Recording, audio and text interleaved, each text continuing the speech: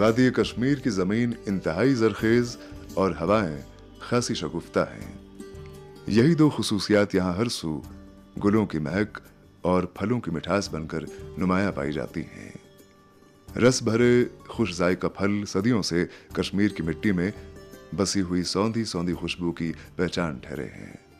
और बात कश्मीर के फलों की हो, जिनमें बिला शक सेब एक मुनफरिद शनाख्त का हामिल है तो बेसाख्ता सोपोर फ्रूट मंडी का नाम जबा पर आता है।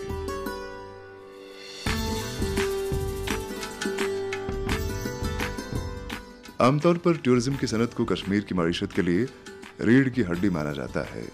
लेकिन आमदन के एतबार से देखा जाए तो फ्रूट इंडस्ट्री ही असल में कश्मीर की मीशत की बुनियाद है। इस सिलसिले में सोपोर फ्रूट मंडी की अहमियत का अंदाज़ा यूँ लगाया जा सकता है कि ये एशिया की दूसरी सबसे बड़ी फ्रूट मंडी है। दो करोड़ से भी ज़्यादा पेटी यहाँ से डिस्पैच हो रही है हिंदुस्तान की बाकी मंडियों में। साल के बेशतर महीनों में यहाँ व्यापारियों और मुल्क और बैरून मुल्क के खरीदारों का तांता लगा रहता है।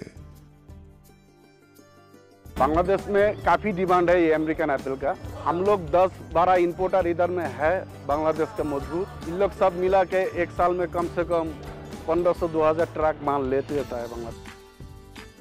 मेवे की मुख्तलिफ़ अकसाम की कीमतें भी यहाँ एक दिलचस्प तरीके से तय की जाती हैं ताकि राजदारी कायम रहे और कीमत का मैार भी।